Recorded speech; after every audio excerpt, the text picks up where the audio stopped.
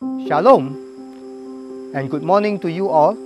I am Weng Seng Chan, MV uh, coordinator for the country of uh, Malaysia. And uh, actually what we do is to motivate people. And here we are, MV, you can call it MV Motivate. I'm in East Malaysia where most of our operations are in the states of Sabah and Sarawak. We would love to welcome you. Please come and see and serve alongside with us we take you, we host you on mission trips in the states of Sabah and Sarawak and we will love to take you into the interior, into the interior where the indigenous, indigenous churches are, where God is really alive and we are actually experiencing, uh, we are expecting and we are at the start of a big revival in Sabah and Sarawak. So please come and serve alongside with us.